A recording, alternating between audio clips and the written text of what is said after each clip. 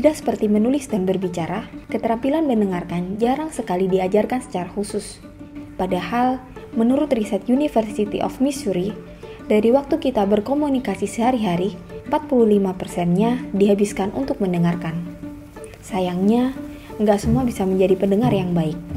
Stephen R. Covey, seorang penulis buku pengembangan diri menyebutkan, kebanyakan orang tidak mendengarkan dengan tujuan untuk memahami, tapi mereka mendengarkan dengan intensi untuk membalas ucapan dari lawan bicaranya.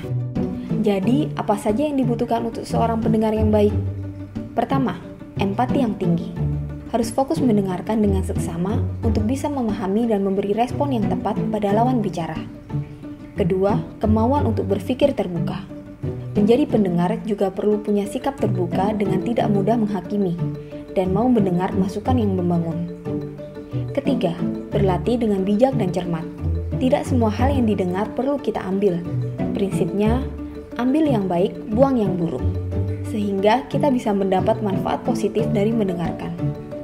Nah, Sobat Besuan Jarum, ketiganya ini bisa kamu terapkan untuk mendengarkan siapa saja di mana saja. Setelah ini, mau belajar apa lagi ya? Jangan lupa subscribe channel Jarum Beasiswa Plus dan ikuti media sosial resmi kami untuk mengenal soft skill lebih dalam atau info kegiatan lainnya.